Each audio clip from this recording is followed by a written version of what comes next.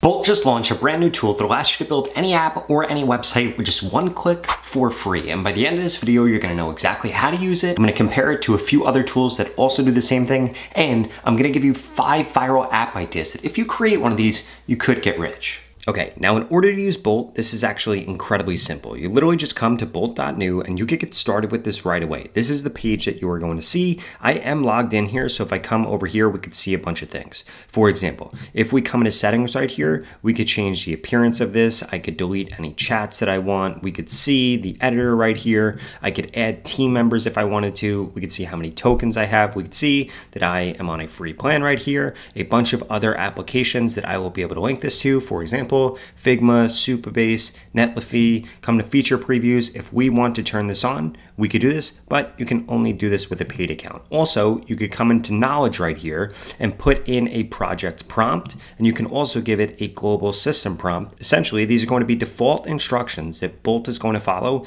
in every single conversation. And this one right here is a project specific instructions that Bolt will follow when working on a specific project. You can also come into network right here and then come into backups. So you can have a bunch of backups here. But basically, this is how Bolt works. You literally just tell it what you want and it goes ahead and does it. Check this out. So if we type in a prompt here, and by the way, the more specific you make the prompt, the better it's going to be, the better the app that it's actually going to build. We could just type in a simple prompt like, make me an app that allows me to track when I take my GLP-1 shots. That is literally all you have to do, both for an app or a website, just specify exactly what you want built. This is going to go ahead, start thinking, and then from here, it's going to start coding it out with no other input. Now let's contrast that to Firebase Studio and to Replit, which you can also get started with both of these for free. If we come over to Firebase right here, we can give it the same exact prompt. Make me an app that allows me to track when I take my GLP-1 shots. Now, when we click on prototype right here,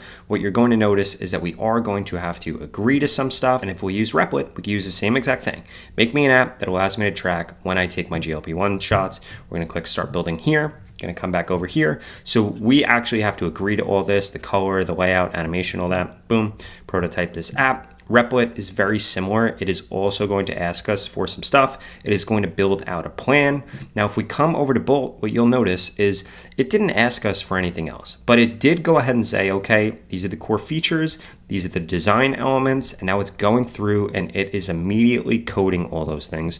We could set up integrations up here. We could deploy it from up here. We could export it if we wanted to from right here. You can also have this optimize your prompts and if you wanted to, you could upload photos or a PDF or something along the lines of that. So if we come over to Replit right here, we will see that we also have to approve all of this. So one of the biggest differences is that with Bolt, you don't have to approve anything. It's truly one click. With Firebase Studio, we had to approve things, and with Replit, we also had to approve things. Now, Firebase Studio is done the quickest, by far the quickest, but what you're going to notice is that this isn't really that good. I mean, this is kind of like incredibly basic right here. Again, if we are just prototyping an app, Firebase is going to be good for that. Um, if we come over to Replit right here, we'll see that this is now building this out. This is a lot quicker than Bolt in a lot of cases, What you'll see is that Bolt is going to build out the entire thing and then it's going to allow us to preview it, where Replit is just going through. And then what Replit does is it gets two different finished parts and then it says, hey, this is finished. Do you want to keep proceeding? But again, Bolt doesn't do that. This is going to build out the entire app and then it's going to show us exactly what it's built. Now before we get into those five viral app ideas and I show you the finished product from all these, I need you to smash that subscribe button if you wanna stay up to date on the latest and greatest AI tools. I upload videos like this every single day and you're not gonna wanna miss them. In addition to that, if you're trying to automate your work with AI, you wanna make more money with AI, or you want personalized feedback from me on exactly what tools you should be using or different work cases and workflows, I strongly suggest that you go to the pinned comment below and check out AI Automation School. I just launched it, people are loving it, and it's the cheapest that it's ever going to be right now. In fact, the price is going up this weekend. So if you're interested, I strongly suggest you check it out. Okay, so in terms of what this actually looks like now, we could see that this is done. We have our GLP-1 medication tracker. We could track our first injection. So we could click log injection. We could put the time. We could put the injection site. We could put any notes.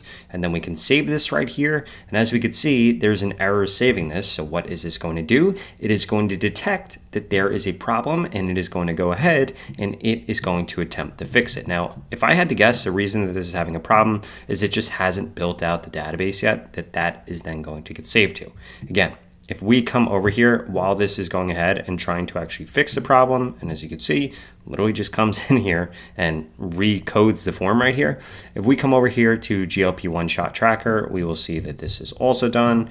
We could click here, we can confirm, boom, and then this also, again, didn't log because we have to actually build out the database for all these things. This is just the front end that we're looking at. If we come over here, we could see what Replit built.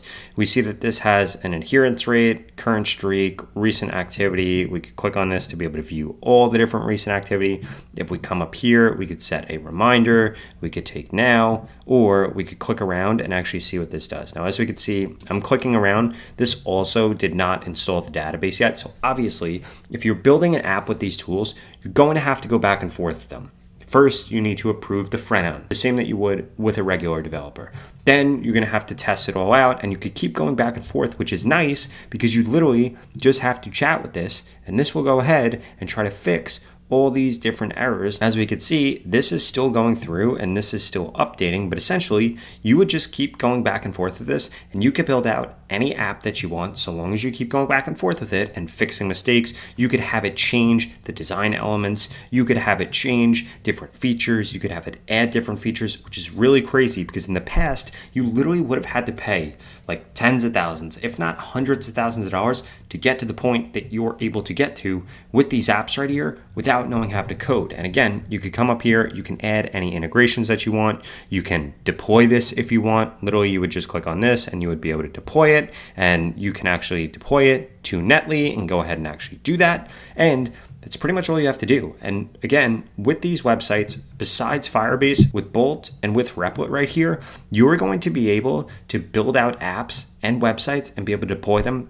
pretty much immediately. Now, like I promised you before, I wanted to give you five viral no code app ideas. First one is going to be an AI tattoo designer. I don't know about you, but I have a bunch of tattoos. Some of them I do regret. So you could de risk getting a tattoo by building an app for this. You then would be able to upload your body part. You'd be able to try on a custom design before getting it permanently, and you'd be able to see whether or not you actually want to get the tattoo. The second idea here is building a children's book generator or a coloring book generator. Essentially, what this is allowing you to do is input a story idea or create one with AI or select random ones, and then you would actually be able to build from that a children's book based on it or a coloring book generator that they would then be able to print out and would be able to use right here. Now, all of these different apps that I'm sharing with you, these are all going to be subscription ideas. If you build one of these out, I would make it a subscription. I would start making TikToks for it, Facebook Reels, Instagram Reels. I would post on YouTube Shorts,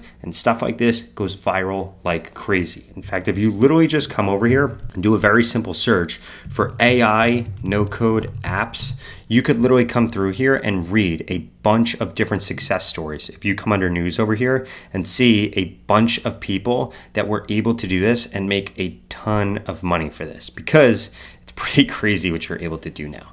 Now, idea number three is going to be a viral meme creator. Essentially, meme marketing goes viral goes viral on TikTok, goes viral on Facebook, goes viral on LinkedIn, goes viral on X, goes viral on Instagram. How great would it be if you were able to describe your absurd idea and then get an ultra specific meme specific to that for your niche that you would be able to post or that a bunch of different creators would be able to post? People would love this. They love sharing memes in group chats. I'm sure people share memes with you all day long, so why not facilitate people being able to do that again for a subscription fee? The next one is going to be a product mockup app. Essentially, early stage sellers, if they're selling something on Amazon, they're selling something on eBay, they're creating their own e commerce store, they can't afford photographers, they can't afford professional renders. So, why not allow you to upload an image and give it a prompt, and then it auto generates that idea on mugs, on shirts, on packaging, and even changes out the models for it?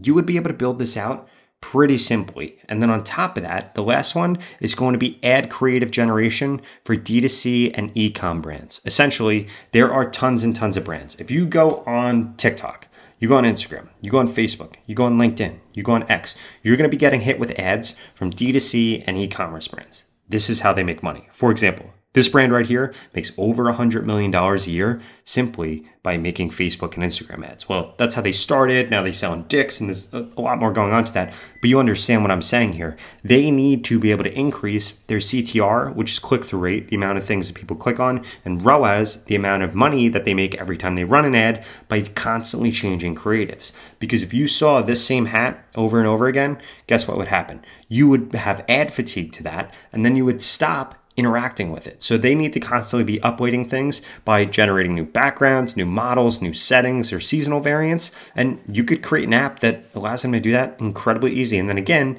charge a subscription for that. Now, if you like this video, you're gonna love this video right here that walks you through ChatGPT's latest updates that just happened yesterday that now allow you to automate tasks and automate some work that you don't wanna do with their latest and greatest model. Check it out right here.